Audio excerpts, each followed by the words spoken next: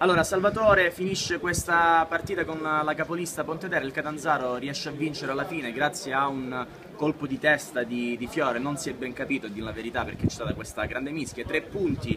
eh, non sappiamo se meritati o meno, comunque sono arrivati, eh, certamente un qualcosa da rivedere in questo Catanzaro. Ah, sicuramente da rivedere, però di questa partita prendiamo per bene i tre punti e soprattutto gli ultimi 20 minuti di gioco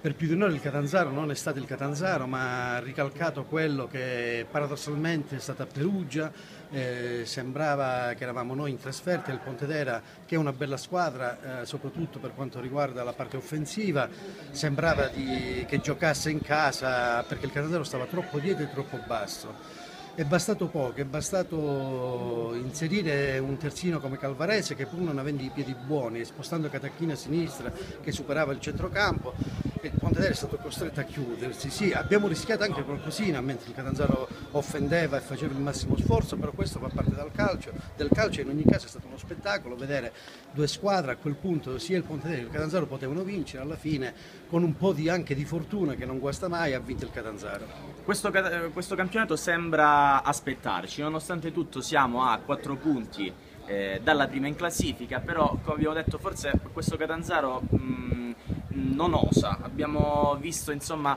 un primo tempo scialbo, diciamo la verità, eh, un Catanzaro senza idee, un Fioretti eh, chiamato sempre a fare gli straordinari e dover rientrare eh, quasi al centrocampo per prendere un pallone, Russotto eh, il solito Russotto insomma largo a sinistra che non riesce a essere incisivo come nella passata stagione. Cosa manca a questo ma? Forse, forse, è un paradosso ma il fatto che il Catanzaro giochi con questo 4-3-3 è un 4-3-3 anomalo perché vedere giocatori di diciamo, Fioretti con potenzialità offensive elevate, lo stesso Russotto che ancora non è riuscito a trovare lo specchio della porta e anche Martignago,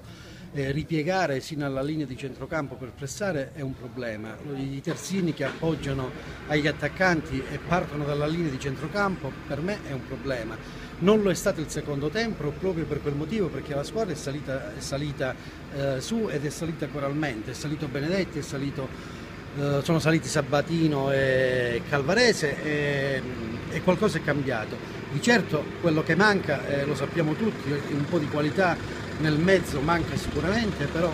sfiancare gli attaccanti forse non è molto produttivo visto la tipologia di uomini e di squadra che ha il Catanzaro, perché è pur vero che abbiamo una forte difesa, ma dicevo prima, eh, al calcio vince chi fa gol e per vincere bisogna segnare come d'altronde abbiamo fatto negli ultimi dieci minuti sfiorando il gol almeno in due o tre occasioni quando il Pontedera, ma già questo si era visto all'inizio, non dimostrava di essere una difesa stratosferica. Adesso la, la, prossima partita, se non vederato, dovrebbe, dovrebbe rientrare Germinale, quindi potrebbe forse cambiare qualcosa nell'assetto perlomeno offensivo eh, della squadra. Ricordiamo che le prime partite proprio eh, con eh, Germinale, insomma il Catanzaro anche adottando i lanci lunghi come, come soluzione riusciva in qualche modo a, a creare delle azioni di un certo rilievo. Invece abbiamo notato che insomma, con questo tridente Fioretti-Martignago Russotto qualche problema c'è. Ma di certo Germinale aiuta sicuramente la squadra eh,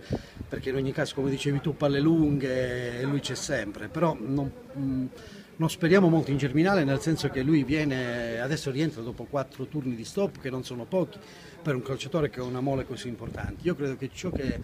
deve cambiare il Catanzaro soprattutto eh, anche per via di questo campionato dove non ci sono retrocessioni, dove i tre punti o zero punti è la stessa identica cosa, deve cambiare soprattutto nella mentalità, un pochettino più vincente eh, perché possiamo divertirci perché i nostri calciatori non sono eh, dei brocchi e lo hanno dimostrato oggi in quegli ultimi 20 minuti. Io credo che sia molto molto questione di mentalità. Insomma, dobbiamo usare. Sicuramente. Grazie Salvatore.